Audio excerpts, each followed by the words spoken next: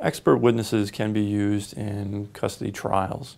They're typically expensive and their opinions uh, sometimes are rebutted by experts for the other side. So when obtaining an expert, one has to be cautious as to what the intent of getting that expert is, be cognizant of the cost of that expert, and uh, have a knowledge that that expert might get his opinion rebutted.